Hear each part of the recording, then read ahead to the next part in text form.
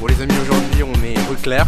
On va se rendre dans la rue Grenelle chez mon copain, euh, Johan Laspre. Ça fait trois jours qu'il a ouvert une super boutique euh, traiteur et notamment parce qu'il est champion du monde de pâté en croûte. Donc ça c'est un super produit pour l'apéro parce qu'on va pouvoir le, le partager avec un vin que j'ai ramené. On va remonter la Loire aujourd'hui et découvrir un excellent vin de copain.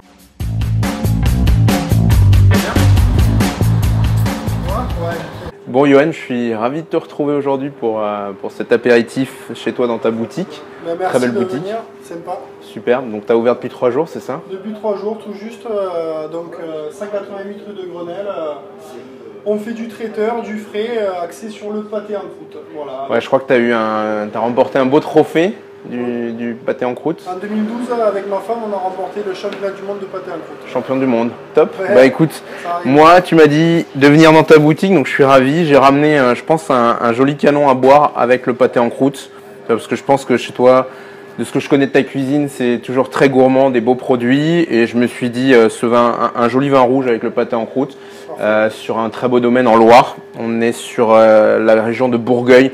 On est chez Pierre Gauthier, c'est un jeune vigneron qui a repris le domaine familial euh, il y a très peu de temps et qui s'oriente aujourd'hui, un petit peu comme toi, sur, euh, le produit, sur euh, le côté nature, le nature du vin. Aujourd'hui, je vais te faire goûter ce cabernet. Je t'invite à, prendre le verre.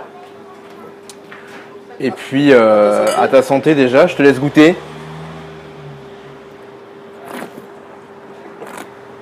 Tu vois, moi, c'est un, c'est un vin que j'aime beaucoup à travers le, le Cabernet. Donc on est sur les mêmes cépages la région bordelaise, mais là, sur la Loire, on a des, des vins qui sont quand même beaucoup plus généreux, plus frais, avec une belle densité, quelque chose de très gourmand. On a cette salinité en fin de bouche, et c'est ce qui appelle, je pense, à pouvoir déguster avec, euh, avec ton Je produit. pense que ça va bien passer avec la puissance de la farce à gratin, Ouais, je me euh, permets de couper. hein, je- la douceur du foie gras, euh, Dans quel sens tu préfères comme tu veux.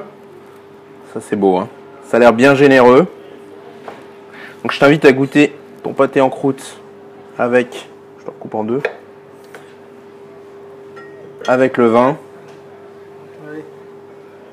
à mon avis. Excellent. Qu'est-ce que t'as mis dedans? Donc on est, pardon, foie gras,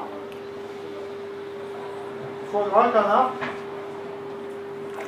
farce à gratin avec les intérieurs du canard. Et on a une touche d'alcool de sapin pour envoyer un peu de puissance et une gelée au porto. Voilà. bah, C'est top, tu vois, aussi bien par la texture, le foie gras, la viande. On a le, le vin qui vient, enrober, euh, qui vient enrober le pâté en croûte, la, la farce à l'intérieur, et en même temps la gelée au porto qui apporte un peu de peps, un peu de dynamique. Donc euh, je pense que c'est un bon accord. Et euh, surtout, tu as des, t'as des super produits. merci. Allez, Merci. à la tienne en tout cas. À ta Chin. bonne santé. Merci. Merci à toi. Merci Johan.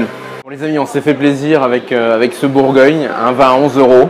Euh, donc je vous invite à le retrouver comme bien d'autres sur sommelierparticulier.com.